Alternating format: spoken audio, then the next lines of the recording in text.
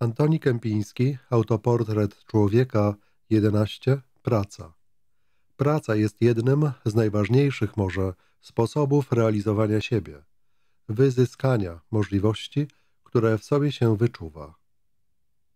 Aktywność ustroju, wyrażająca się w pracy, jest aktywnością najwyższego rzędu, gdyż w niej porządek własny zostaje narzucony otaczającemu światu. Pokonywanie samego siebie jest może największym wysiłkiem, jaki praca stawia przed człowiekiem. Jest też jednocześnie szkołą jego charakteru. W pracy wysiłek koncentruje się na samym procesie przekształcania. Praca jest jednym ze sposobów zespolenia się z otoczeniem. Homo faber kształtuje swoje widzenie świata według narzędzia, którym ten świat zdobywa.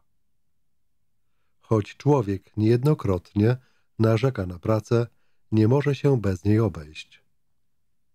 Praca wykonywana wbrew własnemu przekonaniu, z poczuciem jej bezsensu, jest niezwykle nużąca, gdyż oprócz wysiłku związanego z samą pracą, dochodzi mobilizacja ustroju związana z postawą agresywną.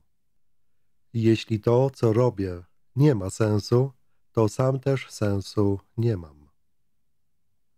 Większą radość daje zdobycie szczytu górskiego po kilkugodzinnej intensywnej wspinaczce niż po kilkuminutowej jeździe kolejką linową. Każdy wysiłek włożony w pracę jest wkładem w ogólnoludzki swoiście nieśmiertelny zbiór informacji stanowiących kulturę.